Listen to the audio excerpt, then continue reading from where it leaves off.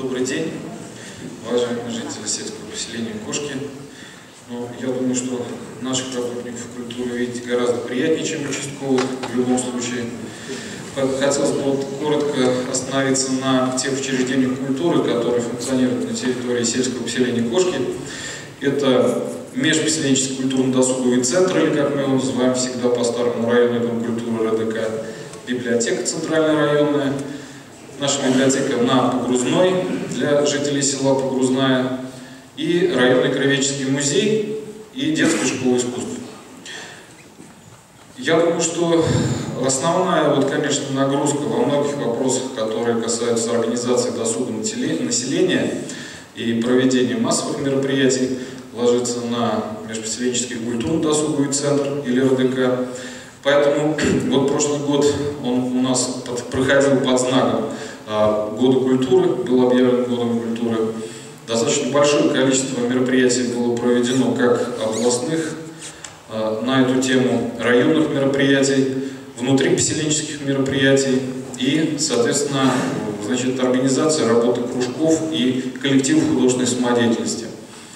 Приятно, что в прошлом году у нас два коллектива художественной самодеятельности получили звание народный. Это вновь они его получили, коллектив э, всеми любимый, наверное, фольклорный детский «Ягодка» защитил звание народного. И подтверждались, соответственно, два коллектива. Это, значит, коллектив ветеранов «Ивушка» и коллектив «Росинка» хореографический.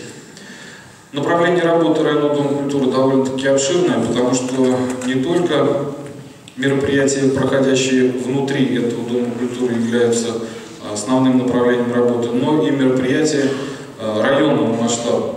В частности, вот на сегодняшний день проходит фестиваль районный, э, смотр фестиваль, посвященный 70-летию Великой Победы. В каждом сельском клубе, в сельских поселениях он проходит, соответственно, выезжает комиссия, и будет проводиться у нас районный фестиваль, посвященный юбилею Великой Победы. В Кошкинской нашей детской школе искусств обучается 130 детей.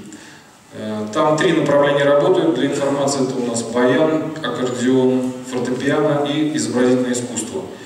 Но дети с удовольствием посещают детскую школу искусств. Если какие-то вопросы и замечания есть, то, конечно же, э, хотелось бы их услышать сегодня. В основном это дети, которые проживают в селе Кошки и обучаются в Кошкинской и Погрузнинской школе, школе.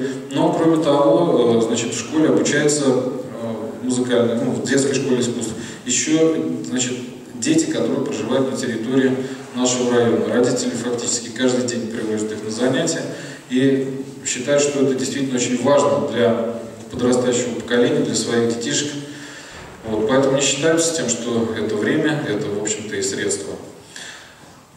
Хотелось бы обратить внимание на такой момент. Вот прошлый год а, был у нас второй по счету областной фестиваль а, самодеятельного народного творчества «Рожденное в сердце России». Проводился второй раз и посвящен он был, соответственно, Году Победы. А, в этом областном фестивале приняло участие 189 самодеятельных артистов нашего муниципального района – Конечно, основная часть – это коллективы, художественные коллективы, хореографические, значит, коллективы а, районного дома культуры, детской школы искусств, ну и, соответственно, сельских домов культуры. Мне прежде всего хотелось вот с трибуны, пользуясь случаем, выразить большую благодарность тем участникам художественной самодеятельности, которые, ну, самоотверженно, я бы сказал так, принимали участие и готовились э, к этому фестивалю смогли достойно выступить, несмотря на то, что это действительно очень сложно и ответственно, выходить, может быть, в какой-то степени из села, на большую сцену оперного театра, на главную сцену нашей Самарской губернии. И выразить благодарность э, директорам наших школ, потому что детей тоже довольно много у нас принимало участие, Бебетеву Борису Петровичу и коллективу педагогическому за понимание директору Алексею Алексеевичу Краснову значит, и коллективу Погрузинской средней школы. Поскольку репетиции проходили и, скажем так, в учебные дни, и родителям, которые с пониманием к этому отнеслись. Но результатом нашего выступления стало первое место из 27 муниципальных образований сельских. Это очень достойно, очень почетно и накладывает на нас, честно говоря, большую ответственность в дальнейшей работе и в ее качестве. Сейчас мы будем принимать участие в гала-концерте, то есть в большом сводном концерте, который состоится 25 февраля в Театре оперы и балета, где будут вручаться Э, муниципальным районам, занявшие призовые места, и городским округам призовые места. И, конечно, подготовка к нему очень сложно идет, поскольку много людей задействовано. И вот на репетиции приходится, приходится выезжать и вчера, и сегодня. Значит, за автобусы Борису Петровичу за помощь действительно большое спасибо.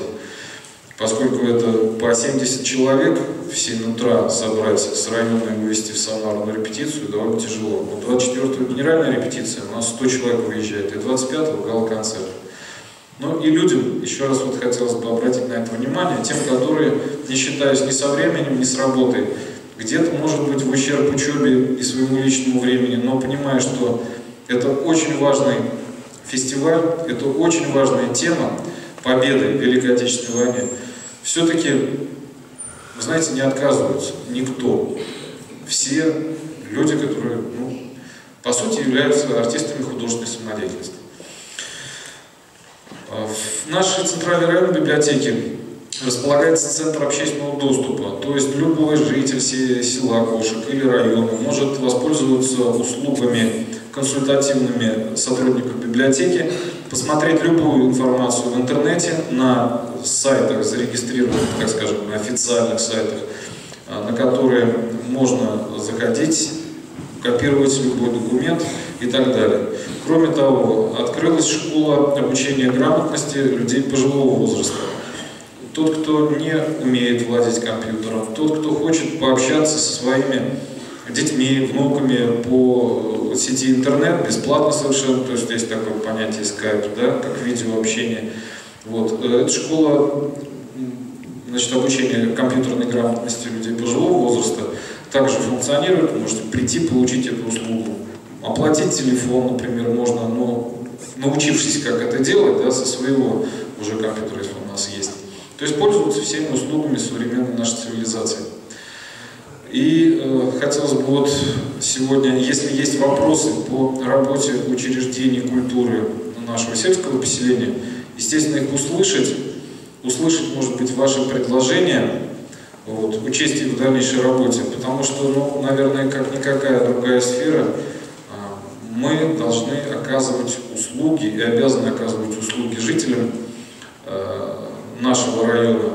И, естественно, чтобы эти услуги были качественными и доступными. У меня все. Пожалуйста, если какие-то вопросы есть. Пожалуйста, вопросы.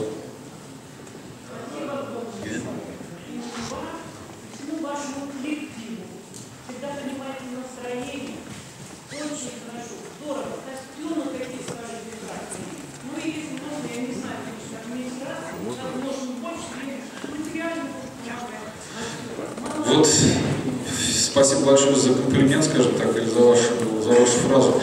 Дело в том, что, конечно же, вот говорить о костюмах, да, костюмы шьют наши прекрасные, я скажу так, швеи, но естественно, что материал это довольно-таки дорого, особенно сейчас администрация муниципального района выделяет, потому что это все прежде всего для детей, это для привлечения новых артистов в художественной самодеятельности, чтобы было приятно выйти, порадовать ваш взор, глаз. Вот если говорить о фестивале, в котором мы готовились, вот на 200 человек участников практически, да, был пошит не один комплект костюмов, мы посчитали порядка 400 деталей. А, пришлось отшивать нашим швеям, это была большая работа. Средств было выделено порядка 180 тысяч только на ткань. Порядка 200 тысяч на приобретение сценической обуви, чтобы можно было достойно выйти на большую сцену оперного театра. Вот. Поэтому действительно это стоило больших трудов и затрат. И поэтому я еще раз говорю, вот обращался прежде всего к тем людям, которые внесли свой вклад своим трудом, да, ну, естественно, что без поддержки администрации, вот финансовой, но успеха бы не было. Это, в общем-то, общая победа. Вот единственное, что мы все поняли, и, наверное, нам надо понять, э, никакое дело никогда не будет сделано хорошо, если кто-то делает его один. Вот когда все вместе с пониманием отнеслись к этому, и получился и результат. Большой и хороший результат. Еще раз говорю, довольно большое количество средств было вложено. И сейчас, если так сказать, нам приходится действительно тратить средства на то, чтобы людей покормить, э, значит, э, автобусы заправить и так далее, и так далее. Это только кажется, что все просто. На самом деле довольно-таки сложно в организационном плане. Вот. Поэтому здесь ну, помощь, поддержка на самом деле очень серьезная оказывается. 静波，你 было.